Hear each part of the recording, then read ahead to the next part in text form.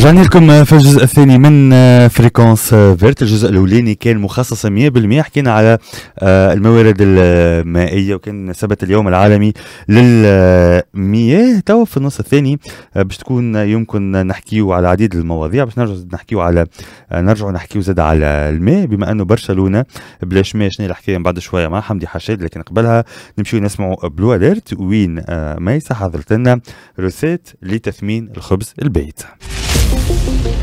Blue Alert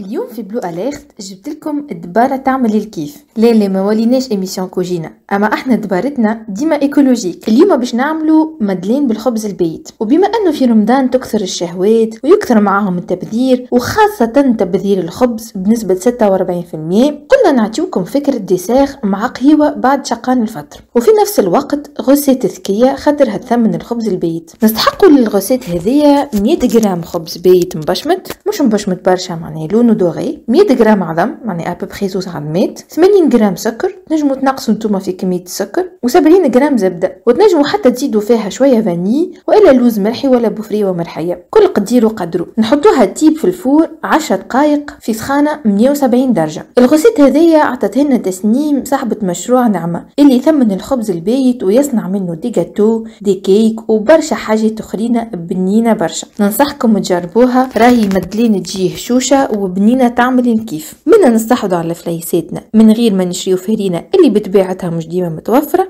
منا نستحفظوا على البيئة نقصوا في اللي ديشي اللي يخرج من دارنا كل يوم ومنا نستحفظوا على ميزانية الدعم اللي كل عام يتلوح منها 100 مليار بسبب تلويح الخبز. وأنا توا ما بقالي كان نقول لكم شهية طيبة وما تنساوش باش تجربوا كل مرة الغوسيت انتي غاسبياج بلو اليرت